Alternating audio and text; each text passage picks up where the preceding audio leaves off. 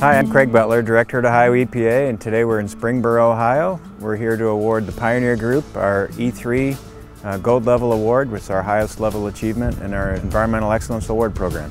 Pioneer Automotive Technologies develops, assembles, sells, and distributes automotive infotainment products, car radios, navigation systems, amplifiers, speakers, and tuners to the world's largest automotive manufacturing companies.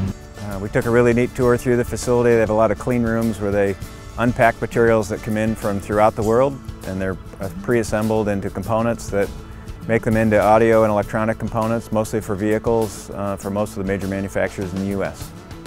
One of the key things that uh, brought this facility to our attention for the E3 program was their, their uh, commitment to a zero waste facility.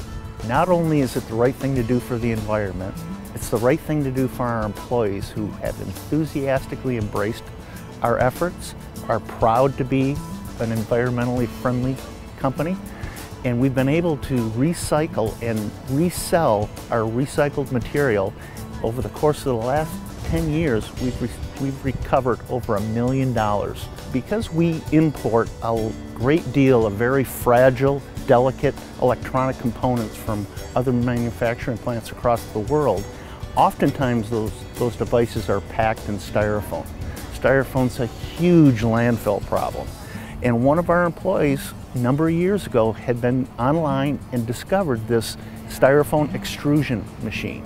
So one of the neatest things we saw today was this EPS extruding machine where they take styrofoam, chop it up into small, small pieces, heat it, put it through an extruder and then make another product which can be taken off-site and used in uh, shoe manufacturing and other component parts that saved them over 46,000 pounds of um, solid waste materials this year and over a quarter of a million pounds of material that they've diverted from the landfill since they put the system in place.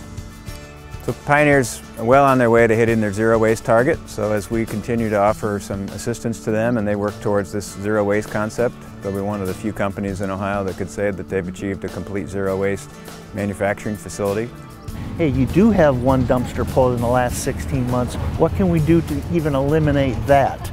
And you know, whether it be kind of food byproducts from the cafeteria or, or some of the other more difficult steps that, that remain, we're going to look to, to Craig's team and, and the EPA for their ideas to, to help us look to see if we can even further reduce. They really embody the concept not just beyond the zero waste idea, but they uh, uh, work with all of their uh, employees and they do things throughout the community, which is really important. We clean about two and a half miles of bike path along the greater Miami River and we participate in many different charitable activities and events here in the community. And it's the right thing to do as a company, it's a great thing to do for our employees, and it's a wonderful thing that we can do for the community.